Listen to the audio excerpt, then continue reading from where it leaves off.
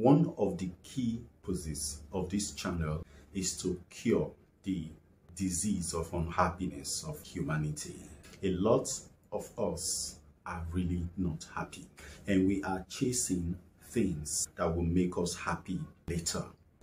Our lives in their totality are not happy right now. Everything is posted to sometime later and we are posting these things on an event that is going to occur in our lives which we are putting all our energy or sometimes half our energy to make this event happen. And when they happen we say we will be very very happy. We do a lot of things for the future. We hardly ever do anything for now. We are always posting our fulfillment. We are always posting our joy. Some of us even say that we are sacrificing now for later. See, to sacrifice now for later means that you are killing your happiness today. You are killing your essence right now so that a mirage, something that is unreal, might manifest. The future is unreal. You cannot post your today in the interest of tomorrow. It is the same way of saying that we will suffer on earth so that when we die, we have a beautiful paradise or heaven to go to. There is no such thing because if you are not in heaven right now, you will die and not find heaven. If you are not happy today, if you are not fulfilled today, there is nothing tomorrow that will make you fulfilled because your moment, this very time, this hour, this minute is the seed of your tomorrow. A happy person today, a fulfilled person today, a grateful person today will be the one that owns tomorrow in fulfillment. So we are getting the arithmetic of life wrong. We think that when we get something, that thing will make us happy. Nothing makes a human being happy the only happiness that is genuine, that is true, that is long lasting is the inner happiness. It is the happiness of being, not the happiness of doing, not the happiness of having. It is not even the happiness of expecting. Because by expectation, you set yourself up for disappointment or maybe fulfillment. But if you are looking at your fulfillment as a future thing, you are ruining your entire pleasure. You are ruining your bliss. There is no law that favors tomorrow bringing happiness because today is what makes tomorrow. So what you are today is what you will be tomorrow. It's not going to change. It's world without end. It's been said that the child is the father of the man. Today is the father, the mother of tomorrow. So this is how it is. If you really, really want to re-engineer your life, you want to make it something that you will be happy to experience, something that will be worth the while, something that will not be part of the human problem, something that will be a tonic for the few humanities who are looking for purpose in their lives, then I will say to you, my friend, stay happy right now. Let me explain what it's like. Somebody says, oh, how can I be happy when I don't have all the things I am looking for? The first thing is this, the things you are looking for do not exist. You are what you are looking for. When you fall in love with yourself, when you are fulfilled with what, even no matter how small it is that you have right now, every other thing will fall into place. That's what it is. Happiness is a magnet for life. The purpose of life is happiness. I've told you before that when you are happy, you are being human. That is the reality.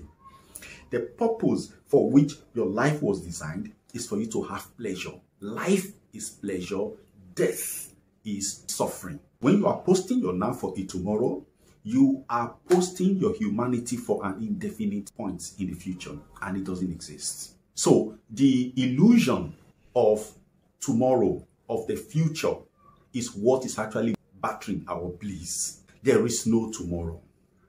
What there is is now. And again, there is no past. There is no yesterday. You might say, oh, I was in yesterday. When you were in yesterday, what was it? It was now. Now, now, now is what you have. Your power as a human being is present in the now. It is not in the past. But when you travel to the past and bring it to the present and bring the memories of events of the past to the present, you are disabling your present and reliving and perpetuating your past. You might say, okay, what I'm doing is that I had a very glorious past. So I'm going back to bring it. That is okay. It's a, it's a better form of evil because you are choosing positive memories from your past. But when you do that, what you have done in this context is that you have disabled what is happening today. The possibilities that are inherent in the now, you have damned it. All of your forces are ready in the now. When you go to the past, you shut them out of your realities. When you go to the future, you postpone them. You tell them to hold on till then, and there is never something like that. One thing about human beings is that the human mind, which controls activities in this space that we occupy, is a creature of habits. When the human being becomes used to posting happiness and hoping that later I will be happy now, no problem. Later I'll be happy now. Let me just suffer. Let me just endure. When that becomes a regularity, it becomes a program. Your mind begins to work in that area that you have chosen not to be happy today. You have chosen for things not to work well for you now. You are putting everything to the future. And for the mind, the mind does not know the future. What the mind knows is that you are saying no to things right now. Whatever good that life has to offer, you are saying no to it now. Okay, that's what you're doing. You are postponing, you are, you are pushing it. When tomorrow comes, it will still be the future. That tomorrow will not be the future, there will be future in advance. That's how it keeps going. So, if you really are interested in being fulfilled, in having that great life, have it now. Don't wait till tomorrow. Have it now. The wise say that if you can summon the emotion that having the things you most desire can bring you when you have them, then you can have them. First, it is energy. Don't forget the order of creation. Emanation, followed by creation, followed by formation, and then finally talk about action. For all of these things to work, you have to first of all be in a state. The state that causes all things is where you need to be at. And what is that state? Is the state of joy. And if you cannot be joyful, I was telling somebody some years ago that you don't have to have money. You don't have to have the things you think make life count for you to be happy. What makes life count is your being alive. You are the ingredients. You are the core ingredients that make life count for you. If you can be in yourself and accept yourself as you are right now, if you can accept your moment and not be griping, and not be grudging and not be critical, condemnatory of your present. It will clasp to you. And you'll be surprised that there are things in the moment that are so great that you cannot see. A lot of the time, the things that make us unhappy are the tiny, infinitesimal focal points of our lives that are not turning out the way we want. That's what makes us unhappy. Meanwhile, there are vast other aspects of our life that are great. They are just marvelous but we don't see them. You know, when a finger has taken a cut, you become aware of that spot of the finger because an injury has happened there. And you are saying, oh, I have a pain here. You are putting your attention in it. When somebody wants to come into contact with you, you protect that place. That is the same thing we do. When something in our lives are not working, we focus all our attention on that thing if we're only focusing the attention on that thing on the from the perspective of let it work, it would have been okay, it would have been solved. But we are focusing attention on that thing from the perspective of it is not working. Why me? You know, we are looking at it from the wrong perspective. We are looking at it from the validating perspective. And so that thing gets worse. Sometimes we are asking, why is it like this? We are trying to seek historical analogy. You know, we are looking for similarities and other things. We are looking for the causative factor. Not because we want to take out the causative factor, but we want to justify why it is happening. And then as a result of that, it keeps happening. It keeps worsening. Things, good or bad, we are meant to come to pass for other new things to come into place. But now you are focusing your attention on that little cut on your finger. And that is where all your woes are now coming from. Meanwhile, you forgot that that spot that is cut is hardly 0.1% of your entirety that is healthy. But you leave those ones out and you focus on the part that is injured. This is the story of our humanity. We are mostly ungrateful, non-appreciative, and negatively charged. To get away from there is to say, whether I have anything or not, whether I have the things that I consider make life tick and lovely, I choose to be happy. If you are not happy right now, do me a favor. Stand in front of a mirror, smile. The first four attempts will not be meaningful. They will be wry. They will be, they will just be ugly. But keep doing it. Keep doing it with a commitment to really smile from your belly. You'll be surprised at the 10th attempt. You will feel some movement from the pit of your stomach. You will see your eyes light up like a bulb. You're smiling. Do you know why it happens? It is because happiness is innate in you, is inside of you. All you need to do is to activate it and wake it up. It's not in tomorrow. Let me tell you, you will say, oh, if I have this thing, if I have this guy, if I have this babe, if I have this car, if I, I will be happy. They will bring exhilaration for that moment. You'll be excited, yes, but that's not happiness because they soon fade. Matter is not long lasting. Matter fades as it is born. It's going out.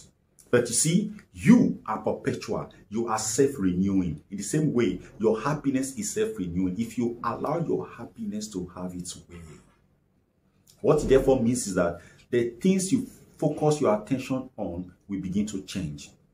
Because when you embrace happiness, your attention will be landing on the things that make you happy. That is how life swings. My friend, what more can I say? I am Osezuah Anthony Elimihe. You know me, I am in the game of helping you grow from inside out. That is the drill. Again, we have spoken powerful one, and I hope that you've heard. And if you've heard, hold on to this simple truth that your life is happening before you right now. Lock into it. And there's no way your life will happen in a negative way. It is always positive. But you see, when you allow the external occurrences, all the charges from the world, the actions of people, the actions of society and community, to affect you, to affect your attention and drag it away. It will take you away from your moment, which is where your life is happening. And you'll be in the past, in the purported future, where the actions of society are happening. The society is a past tense and also projecting to the future. The society is never this moment. That is why whatever people are suffering, it's the past and or the future. They never really happen or they have happened. That's the source of suffering. But there is nothing now that gives you suffering. That's why we say stay in the now and you find bliss. What are the things? Anything that is happening in front of you right now is in the past. Now, when you anticipate consequences of what is happening in front of you right now or has not happened in front of you right now, you are looking at the future. But talking about now, what is happening now is bliss. But connect with it and you find out that your life is transformed. To transform your life, you don't need to go out. You don't need to go out there to look for transformers. No, it is inside. The transformer is in you. The life is in you. You are the life. You carry the transformer. Focus your attention on transformation. Choose happiness. Choose it mentally. Choose it using affirmations. Choose it using contemplation. And if you understand what I'm talking about, watch my video on dissonance. You understand what contemplation does for you. So, my friend, that is it. Until I come your way again next time, please stay one, be united. Connect with the cosmic, with the supernatural, with the God mentality, with the God intention, with the God opinion about you. There is nothing broken you. There is nothing wrong about you. You are powerful and you are in the swing of your life. Just dive into it. Don't think that you want to wait for it. No, dive into it right now. you will see the result. It is a beauty.